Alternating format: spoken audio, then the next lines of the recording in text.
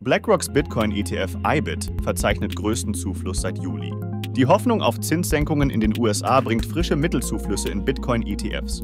Der BlackRock ETF ist dabei Spitzenreiter und verzeichnete am 26. August mit 224 Millionen US-Dollar die höchsten Zuflüsse seit dem 22. Juli. Die anderen Anbieter Bitwise, VanEck und Fidelity verzeichnen dagegen Abflüsse von insgesamt 32,1 Millionen US-Dollar. Laut CoinShares Bericht flossen vergangene Woche 533 Millionen US-Dollar in digitale Asset-ETPs, der größte Zuwachs in fünf Wochen.